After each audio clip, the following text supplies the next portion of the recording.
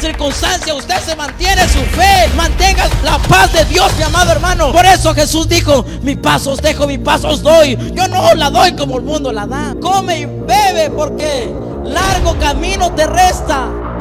El Señor nos viene a decir a nosotros, amada iglesia, pues no tengan temor, porque aún todavía hay muchas almas que necesitan ser alcanzados por Dios.